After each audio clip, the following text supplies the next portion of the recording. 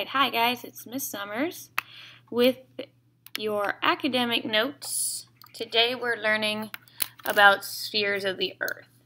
So, for this set of notes, it should look something like this. See if we can get that to focus better. There we go. You will need a few things for this. You'll need a regular pencil and then four colors. So I've picked a green, brown, blue, and yellow. I'm going to set the colors to the side for right now. Alright, so for today's notes, we want to know how the spheres of the earth interact. How do earth spheres interact to support life? So in order to know that, we have to identify each sphere. So I'm going to start in this corner, the first one being the geosphere. So geo, I'm going to jump right here. Geo comes from the Greek word for earth. So the geosphere is the solid part of Earth's surface. So let's think of some examples. So solid, this is something that you could walk on. So soil would be an example. As would rock, alright? Other things can be formations like volcanoes or mountains. And events like earthquakes are also part of the geosphere. Alright? I'm going to add one more thing to geosphere. Geosphere is also called the lithosphere sometimes. And litho is a word that means rock. So, we have geosphere figured in. We're going to pick a color to represent it. I'm going to choose brown to represent the geosphere because brown reminds me of dirt or the ground. So that would make sense. So I'm just going to lightly shade this in so I can still read my notes. But I know anytime I think of geosphere, I'm going to think of something like dirt or soil or the ground. Okay? So we have the geosphere. Our next one is the biosphere. So bio comes from the Greek word that means life. So biosphere is anything that is living. So, some examples. Animals, plants, or even, even something as small as a bacteria. All those things, because they're alive, belong to the biosphere. So the color I'm going to pick for biosphere, I'm going to choose green because green reminds me of like a healthy living plant, all right? Places that are really green, like a forest, generally have a lot of living things in them. So I'm going to make the biosphere green. The reason I'm coloring is because I want to be able to sort things out in my brain, and colors help me do that.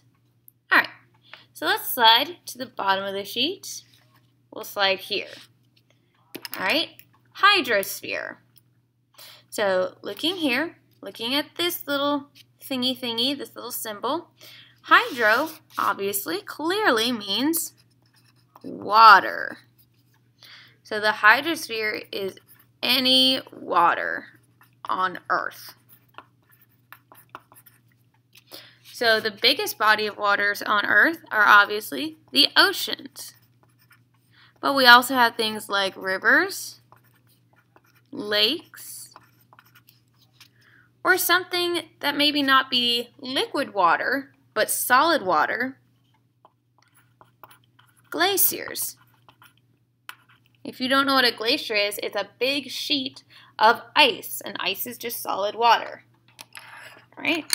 So let's look at our colors once more. We've already used green. We've already used brown. So water is most often recognized or associated with the color blue. So I'm going to make it sort of this blue color. And it's going to remind me that hydro is water. I'm just going to lightly shade so I can see.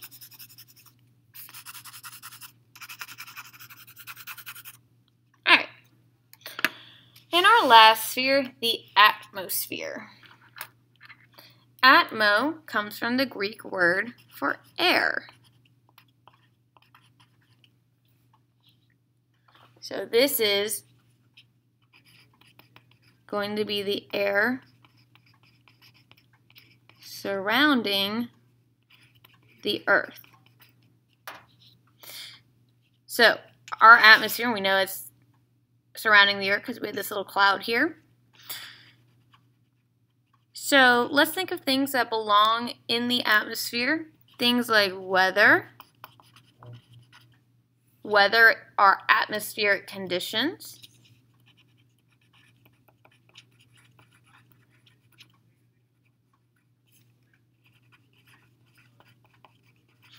Nitrogen and oxygen are the two things that mostly make up the atmosphere. And let's. Let's think of something else. We'll think of one more thing. Wind. All right, wind is the movement of air from one place to the next. All right, so the only color I haven't used from my four colors, remember, green was biosphere for life, brown was geosphere, blue was hydrosphere. I'm going to use yellow because it's the only color I have left. And yellow kind of reminds me of the sky because it's like light and airy, kind of like the sun almost. So that's what I'm going to color for this one. Alright, so we have our four spheres. We have the solid geosphere, the living biosphere, the water in the hydrosphere, and the air in the atmosphere. But now we want to look at examples of how they go together. So, we'll start at the top of the page. Different spheres can interact. So the geosphere can affect the biosphere. And let's look how they do that here. So the remains of dead plants and animals get buried under soil to form coal and oil, didn't mean for that to rhyme, but it did, over long periods of time. So I'm going to take my colors again. Plants and animals are biosphere. Zoom that in so you can see. So my plants and animals are the biosphere. Soil is part of the geosphere. So that's how we interact. Let's go clockwise down here. Here we have the biosphere interacting with the atmosphere.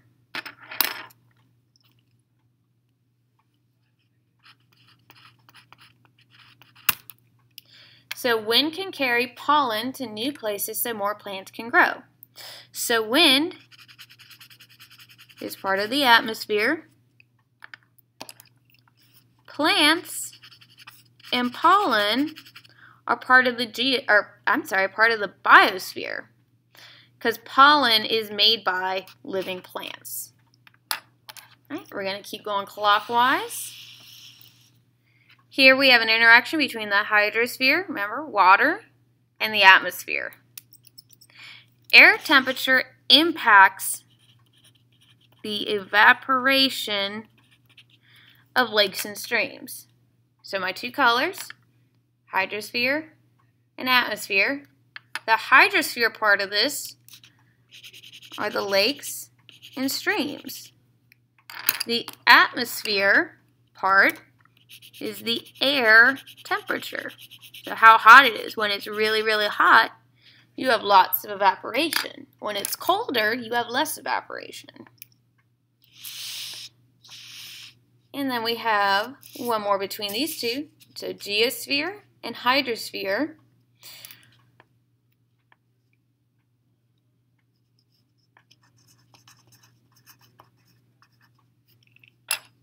Water erodes the land, bringing nutrients to lake. So when you erode something, it means you move things. So the land is the geosphere. The water and the lakes are the hydrosphere. All right. So all these spheres are interacting. All right. We have two more interactions here. So you see these arrows show me how they're interacting. We have geo, so I'm going to write that over here. Geosphere, atmosphere. The geosphere can interact with the atmosphere. So let's look at this first example. A volcano erupts adding carbon dioxide to the air. So which part is geosphere? Which part is brown? It's going to be the volcano because it's part of the earth. And which part is atmosphere? Is going to be the carbon dioxide because that's something you can breathe in in the air. Well, let's look at this one. This is also geosphere and atmosphere. Chemicals in the air impact the weathering of rocks. So the geosphere, which part is solid, the rocks, and which part is the atmosphere, it's going to be the chemicals in the air. And our last interaction on this sheet, these two spheres, I'm going to put bio over here and hydro down here. So the biosphere, living things can impact water, and water can impact living things. So let's look at this one first.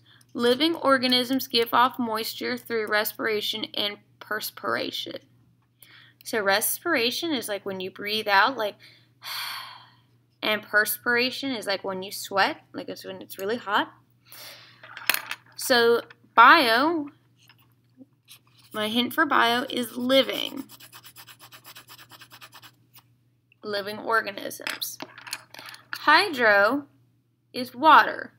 So the example of water here is moisture. Just like if you were to breathe into like a plastic bag, you would see little water droplets. So that's how you affect the hydrosphere. And our last example, water availability impacts plant growth in animals who depend on plants for food. So here, the hydrosphere, hydrosphere is the water availability. So is there a lot of water or a little water? And the biosphere is going to be plant growth. All right. So the water can affect if the plants grow or not. And if the plants grow, it's going to affect the animals who depend on them. Because if there's no water, the plants can't grow, and if there's no plants, the animals can't eat. So this is what the front of your sheet should look like. We have our four spheres, our examples, and then our interactions. On the back of the sheet, you're going to work with a partner at your little pod. Use the following list and start and sort sort the words into their correct spheres. So I've given you little pictures. And we have four, our four spheres. You need to figure out, is it water in the hydrosphere, solid in the geosphere, is it air like the atmosphere, or is it living and it goes in the biosphere?